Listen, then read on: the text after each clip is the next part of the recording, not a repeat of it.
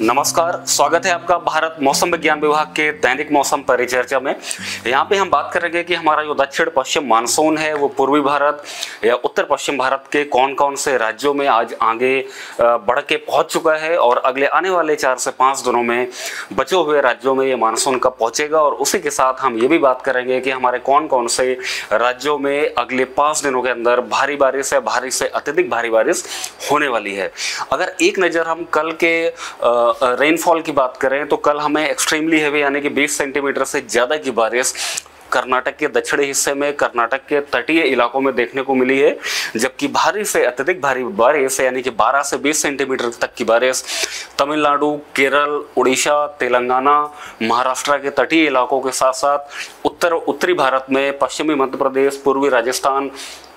पश्चिमी उत्तर प्रदेश और उत्तराखंड के कुछ एक स्थानों पर देखने को मिली है, जिसको कि हमने ऑरेंज कलर से दर्शाया हुआ है। वहीं पे भारी बारिश, यानी कि छः से बारह सेंटीमीटर तक की बारिश जो है, वो हमें पंजाब, सौराष्ट्र, पूर्वी उत्तर प्रदेश, बिहार के साथ साथ पूर्वी मध्य प्रदेश, छत्तीसगढ़ कोस्टल प्रदेश और उत्तर पूर्वी राज्यों के हमें आसाम, मेघालय और मध्य महाराष्ट्र में एक आध स्थानों पर देखने को मिली है। और अगर हम मानसून की बात करें तो आज जो ये मानसून है इस मैप के माध्यम से अगर हम देखें तो इसमें जो हमारा ब्लू कलर का लाइन है, वो हमें ये दर्शाता है कि ये मानसून कहाँ तक पहुँच चुका है, जबकि जो रेड कलर का, यानी कि लाल कलर की लाइन्स हैं, वो हमें ये बताती हैं कि ये मानसून किस तरीके से आगे बढ़ता है। और यदि अगर इसको हम देखें तो आज ये हमारा मानसून जो है राजस्थान के कुछ एक और ज़्यादा स्थानों तक पहुँच चुका है। उसी के साथ इस मानसून ने आज मध्य प्रदेश के अधिकांश बचे हुए स्थानों को कवर कर लिया है। और इस मानसून ने आज जो है, बिहार के कुछ एक और जिलों तक ये पहुँच चुका है। उसी के साथ पश्चिमी उत्तर प्रदेश और पूर्वी उत्तर प्रदेश के भी उसने कुछ जिलों को कवर किया है और आज ये मानसून उत्तराखंड, हिमाचल प्रदेश, जम्मू, कश्मीर, लद्दाख, इन सभी क्षेत्रों के अधिकांश स्थानों को इसने कवर कर लिया है। जैसा कि हम इसमें देख भी सकते हैं, जो ये व्हाइट कलर का एरिया है, ये वो एरिया है जहाँ तक मानसून अभी नहीं पहुँचा है। और अगले, अगर हम अगले तीन से चार दिनों की बात करें तो कहीं ना कहीं बल्कि अगले दो से तीन दिनों में ही हमारी परिस्थितियाँ जो हैं वो काफ़ी ज़्यादा अनुकूल हैं, यानी कि दो से तीन दिनों के अंदर ये हमारा मानसून पश्चिम बंगाल के बचे हुए स्थानों में, झारखंड के बचे हुए स्थानों में, बिहार के बचे हुए स्थानों में, उसी के साथ साथ लगभग उत्तर प्रदेश के सारे बचे हुए स्थानों के साथ साथ उत्तराखंड में जो बचे हुए स्थान है, वहाँ पे ये पहुँचने वाला है और इन सभी के साथ साथ अगले दो से तीन दिनों के अंदर ये मानसून हमारा राजधानी क्षेत्र दिल्ली के साथ साथ हरियाणा के कुछ और हरियाणा के भी कुछ इलाकों को कवर करेगा और राजस्थान और पंजाब के भी कुछ एक स्थानों में ये पहुँचने वाला है। ये मानसून प्रोग्रेस के साथ अगर जो है हम आज के मुख्य सिनॉप्टिक फीचर्स की बात करें तो हमारा एक पश्चिमी तट के पास अरब सागर में एक ट्रफ रेखा बनी हुई है, जो कि महाराष्ट्र के तट से लेकर के केरल के तट तक देखी जा सकती है, जबकि बंगाल की खाड़ी में हमारा एक साइक्लोनिक सर्कुलेशन बना हुआ है, आंध्र प्रदेश और उड़ीसा के तट के पास। एक सीयर रेखा भी है, जो कि हमारा अरब सागर से लेकर के बंगाल की खाड़ी तक जा रही है मिडिल ट्रपोस्फेरिक लेवल्स में और उत्तर पूर्वी राज्यों में एक सर्कुलेशन पूर्वी आसाम, जबकि एक और सर्कुलेशन बांग्लादेश के ऊपर बना हुआ है। पश्चिमी भारत में एक सर्कुलेशन हमारा गुजरात रीजन के ऊपर लोअर और मिडिल ट्रोपोस्फेरिक लेवल्स में बना हुआ है, जबकि दूसरा सर्कुलेशन राजस्थान के ऊपर देखा जा सकता है।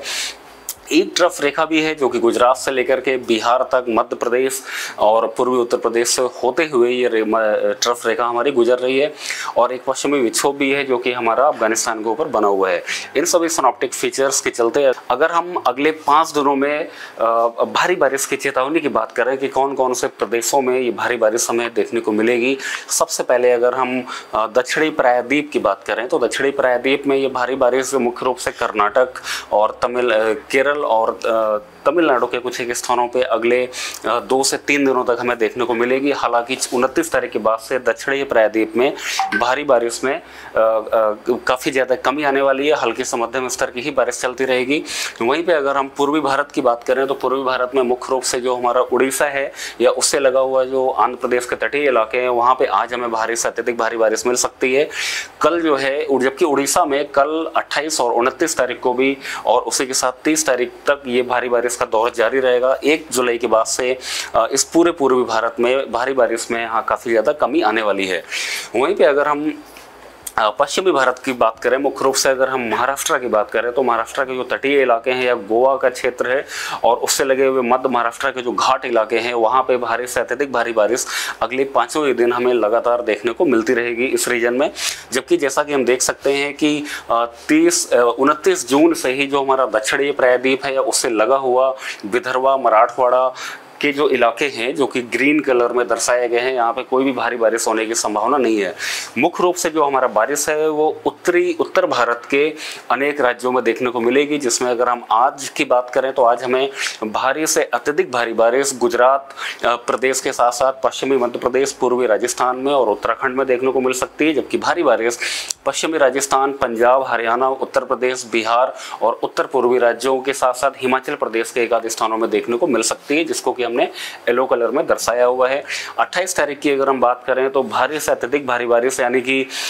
ये बारिश लगभग 6 से 20 सेंटीमीटर तक की बारिश हमें उत्तर प्रदेश, उत्तराखंड और गुजरात सौराष्ट्र एंड कच्छ के कुछ एक स्थानों पर देखने को मिलेगी, जबकि हमारा राजस्थान, गुजरात रीजन मध्य प्रदेश, छत्तीसगढ़, पंजाब, हरियाणा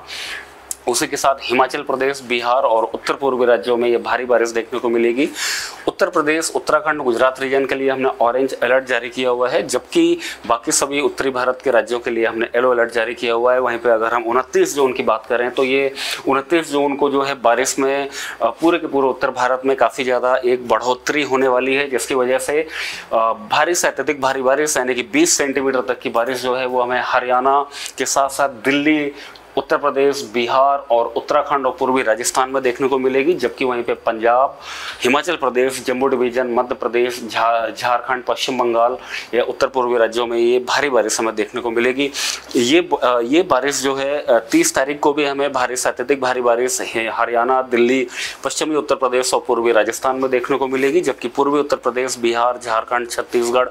पश्चिम बंगाल और पंजाब, हिमाचल प्रदेश, उत्तराखंड, जम्मू कश्मीर के कुछ एक जिलों में भारी बारिश का दौर जारी रहेगा। एक जुलाई की अगर हम बात करें तो एक जुलाई में भारी से अत्यधिक भारी बारिश पूर्वी राजस्थान में, जबकि भारी बारिश जो है पश्चिमी मध्य प्रदेश, पश्चिमी राजस्थान, पंजाब, हरियाणा, उत्तर प्रदेश, बिहार, झारखंड उत्तराखंड और हिमाचल प्रदेश के कुछ एक स्थानों पर देखने को मिलेगी।